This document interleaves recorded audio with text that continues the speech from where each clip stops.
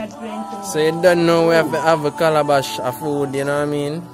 How you mean? Like African. Africa with it. I've never known this before. like